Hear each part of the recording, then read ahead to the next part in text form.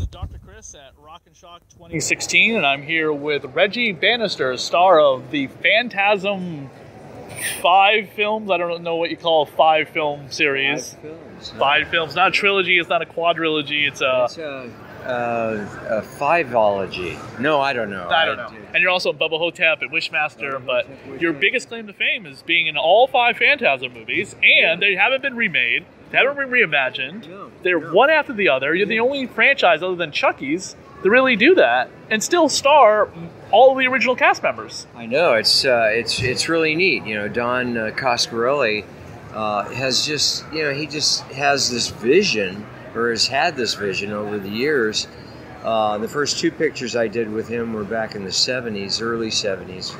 Uh, one was called uh, uh, Jim the World's Greatest, and uh, one was called um, uh, Kenny and Company. And Michael Baldwin was in that. And he was I played a teacher, uh, and I was Michael's teacher actually. Okay, Yeah. Michael, your co-star, Michael Baldwin, yeah, the kid, Uh, the kid. the kid who was replaced in two. Yeah. Oh yeah, with James LeGros. And I heard that that that fans believe that because that wasn't Michael, that was the tall man playing a trick on you, and that's a different. Well, uh, Have you ever heard that story? No, I haven't, but that's a good story. Horror Hound magazine, when they ran a big Yeah. article about the Phantasm Uh-huh. movies, it was, it was just there. a trick. they uh, said that there there had been fan theories that your um, sidekick, your uh, Michael's Uh-huh. character, uh, Michael's character's name is uh, yeah, Mike. Mike. Yeah. uh, was replaced by the Phantasm, the the tall man. And, that's pretty cool. Yeah, and that's Yeah. why it wasn't him. You know, you know that actor did a fine job. That movie's James always a little outside the series because of the controversy with the copyright and blah Oh, yeah. blah blah and shit. I Oh, don't yeah. care about. Yeah, no, I can dig it. You know, is it because you know it was a big studio film, uh, the second, the third one, the Universal Studios. Okay. So um, you know they sort of had their way with it in, in a certain sense. I'll, I will say this: they they allowed Don to just like kind of do his own thing, Good. uh, which is good. I hate studio involvement. Uh, you know, it, it just can complicate things. Yeah, I know you're gonna be a little more polite about it than I can because you want to you want to keep working. Yeah, you know, I want to keep working. That's true. Um, But you happy about Yeah. Ravager? yeah, I'm very, very pleased with that picture. And When uh, did you finish filming that? Uh, we finished it. Uh, oh, I don't know, several months ago. Uh, no, longer than that. Filming. it was like 2014, 15. we worked. We actually shot it over a period of three years, but we worked on it Wow. longer than that. Okay, that I didn't know. Yeah, because is all stuff you to find out about the, on the commentary. Oh yeah, I know. But you've done almost every commentary in those films. You know, Don uh, Don wrote the the original, or had the original concept, and then Dave Hartman came along, uh, and uh, Dave's a terrific uh, guy, uh, very talented. He's an animator as well. He used to work for Disney Gotcha. and Hasbro, uh, and uh, uh, so he was a terrific director on Ravager. And Don, of course, oversaw the whole thing as executive producer, and uh, it was like, you know, old times. It was great. Out of the, of the five, and you can Yeah. even include Bubba Ho-Tep in there. What Yeah. what has been your favorite uh, Don Coscarelli film? Don Coscarelli film. Well, I, th- I think without a doubt the Phantasm series is uh, As a know, whole, you love it. You can't pick one. the the whole thing. You know, it's just it's difficult to pick one because they're they're both so integral one to the other. You know, until you get through five, and uh, when you see five, you'll see what I mean. I, that'll make a lot of sense to you. You also been one of the luckiest guys in horror. You've been with some of the most beautiful women in those movies. Oh, Hot Babes is us. You Um, every every one of those movies, your I know. character is like like just wheeling and dealing some I chick. Even if she's a, the tall man in disguise, you're still like getting in it with her. But the you know the only Your wife Yeah. must be like, why? Who? What movie girl are you with in this movie? the the only problem is I never really nail them. You know, uh, you know what I'm saying? yeah. It's like uh, I think probably the closest I came was when uh, with Gloria. Uh, That was- I got to be in bed with Three, her. four. I, that was four. Four. Okay, Yeah. that was the girl with the uh, the the balls. Uh, oh no, chest. that well that was Dawn. Oh, Uh, okay. Yeah, actually that was pretty close Okay. too. But then she grows these balls. I mean, I don't know, I don't know what That was happened. so weird. Oh, it was it was whacked out, and it just and of course, then I run out the door, and I, out the door, I'm trying to hide, uh, you know, and I run out the door, and the, Yeah. the ball comes and hits the door from the other side and almost nails me. Did you ever get to keep a prop ball? Um, yeah, we've got. Uh, I didn't get to keep any of Don's balls. Damn it, Don. Uh, but Don's kept his own balls. he's kept, he kept his own and balls. you have your balls. I mean, I have my and I I do. I have my balls, and uh, we have several balls at home that other people have made. Um, Do you always like it when a hand, when a fan signs you a set of balls to sign? Oh, they're- well, they're you know they're various uh, shapes and sizes. Well, some are bigger, you know, bigger balls. yeah. and uh, and there, there's one that I've got that's really neat. It's on, it, it's it's part of a whole situation. It's on a a, a marble kind of a platform. It's about I don't know, foot by a foot and a half. Okay. And there's uh, there's People can see what you're doing by Oh, audio recording. oh, yeah. There's, there's uh, yeah, right. Uh, and there's poles that come out of the, oh, the like marble. the yes. Okay. Yep, bottom. I know what you're talking about. Yeah, and then there's a, a, a thing that comes up and it holds a ball. It holds the sphere. So uh, they built me the thing and the and the sphere. It's really cool. Hey Joe, Joe, this be a conversation you love. We're talking about balls and phantasm. Yeah. Yeah. He's got a set of balls. I got a set of balls. I got one. Okay. Yeah, Oh yeah, your wife's got Yeah. a set of balls. We I all know. got some balls to play. I asked him about how many fans come up with a set of balls for him to sign. Well, think about when I get balled up against the wall. Yeah. You know, that's. Uh, she did that. She hung all those balls on me, and uh, there I was hanging. what can you uh, say about uh, working with Angus over the five films and his uh, passing? Oh, Dad, you know, uh, he was just a lot of fun to work with. He was uh, uh, just, you know, a, a consummate professional. And um, uh, Did you ever see his uh, Lincoln short film that was on Yes. Phantasm 2 Yes. uh, Blu-ray? yeah, yeah. That was, and, pretty cool. and you can actually, uh, I think you can go online and see that as well.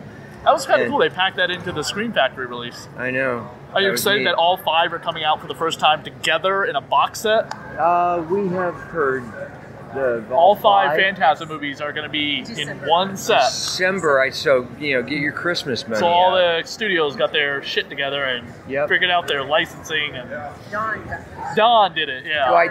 Don overran them. Good. Good. Yeah. Is it a Scream Factory release? I don't Yeah. I'd hope so they, they do a good job. They did a nice job before. shout. Shout is Scream Factory is the horror division of Shout. So Oh, okay. That's awesome. Yeah. me. Don't hold me to. I haven't seen Ravager yet. It's I, I know it's on demand. If I have a chance to see it, I'll rent it. Otherwise, I'll just wait and buy it because I believe in physical media. Oh, I don't yeah. believe in that piracy shit either. Oh no, I can dig it. Yeah. Do you get a copy of the films you you uh, are in sent to you? We no, we Now- have to buy our own copy. Oh, Scream didn't send you a Buy our own copy. pictures, No. buy our own copies. We don't even have a copy of new posters. I, I asked him that at the beginning. I was like, "Where are the Phantasm Five posters?" We only have the Nada. little do you ever did you ever uh, do you ever get people coming up dressed as you as the ice cream man? Yeah, we, I, Yes. that's happened. Yeah. Yeah, and uh, you know, I'll see him walk in the room, you know, in a big convention hall. See him come through the door, and I go, yeah, I look at him, I Long point at him. I before go, I had seen, I'd only Yeah. ever seen like one. I think two was the first movie I'd ever watched. Oh, yeah. Of the of the Phantasm movies, Uh-huh. I watched it as a very young age. It was on TV. I didn't know Oh. what the fuck I was watching. I, I- must have been eight or nine. I, I'm alone at home, like flipping through the channels. Oh, what's this? this we totally cool. screwed you up, right? That's that's doing this that's show. why you're sitting here today, man. And I Come on, always Chris. remember when you're like you're sitting in the chair, you're sitting in the car, you think you get Yeah. away, and you're Yeah. feeling her hair, and you pull her scalp off, and you're like, I'm like, Oh, oh I know. and I, for years I couldn't figure out what that movie was because two was unavailable for Yeah. anyone to see, and then finally I, uh, I rent I borrowed my roommate's copy. He had the one of the few DVD releases of it. Watched it, and I was like, oh my god, this is Phantasm! I can't believe I've been an idiot this long. Yeah, no, I- you know, and, and like I said, you know, uh, Reggie doesn't have good luck with women. No, Not at all. I mean, he's just he's just about ready to get down, and something weird happens, you know. did you hear about the Phantasm TV series? uh, no, uh, we heard about. Uh, That's close to No, but there's a supposedly there's a Phantasm TV series in development. really? No. They haven't Yeah, this was on, contacted uh, us. I'm not going to name the source just because I don't remember. But Yeah. after five came out, there was a thing on Facebook saying uh, Phantasm won't end here. Don and talks about TV series. Huh. So I'm like, what? I mean, look at all the things that are getting rebooted into TV series that are successful. Well, Ash first versus all, Evil Dead, The Don Exorcist. is very adamant about not doing reboots. You gotta come close if you're gonna. Don is very adamant about not doing reboots. I am too. Okay. Yeah. And um, But have you and seen that the- was also Ang- one of Angus's uh, Oh. last things. He doesn't. He didn't want to see anything rebooted. Um, By the way, if you guys are we still in town, we started to do a web. Uh, a, we this project started out as a web series, Okay. and we were going to do a web series. The Ravager. So, yeah. Yeah. And it started out named as Reggie Tales.